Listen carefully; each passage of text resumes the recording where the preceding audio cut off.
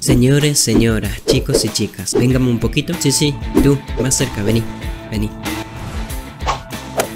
Ahora sí viene lo chido. Toma asiento, Discord ha implementado algo que podría cambiar como lo conocemos. ¿Qué tenemos de nuevo? Roles incorporados dentro de nuestros servidores. Esto merita un aplauso.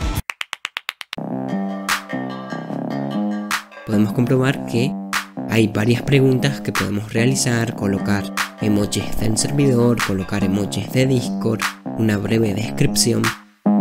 Si quieren ver esto más a profundidad, vamos ahora mismo. Vamos a ver una nueva opción de nombre incorporación, canales predeterminados, vendría siendo la primera opción, que vendría siendo los primeros canales que el usuario va a ver.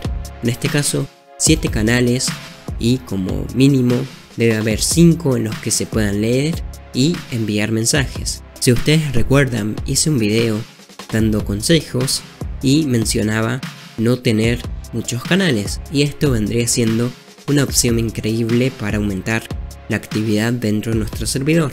Si seguimos bajando vemos que este servidor tiene muchos más canales. Si voy un pasito atrás, tenemos lo que son preguntas de personalización. En este caso, son los roles que nosotros podemos asignar a los usuarios. Y lo que tiene de peculiar esto es que tenemos varias opciones. La primera es que podemos preguntar antes de que se añada como miembro.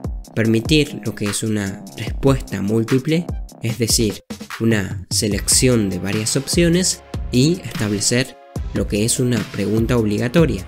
Si seguimos bajando, podemos seguir realizando lo que son varias preguntas. Podemos escribir lo que es una pregunta o podemos seleccionar entre las opciones que brinda Discord como recomendación. En este caso, ¿qué tipo de eventos te interesan? Si le damos a añadir una respuesta, podemos escribir qué es lo que nosotros queremos darle al usuario. Por ejemplo, eventos sobre juegos. Bien, podemos establecer una descripción y lo que tiene de interesante esto es que podemos asignar canales y roles para los usuarios. En este caso, por ejemplo, ¿no? si vamos a hacer un evento de juegos, a mí me gustaría que las personas puedan desbloquear lo que vendría siendo la categoría de juegos. Entonces escribimos juegos y podemos también incorporar lo que es un rol. Déjame en la caja de comentarios qué te parece este sistema. Probablemente también te interese ver este video.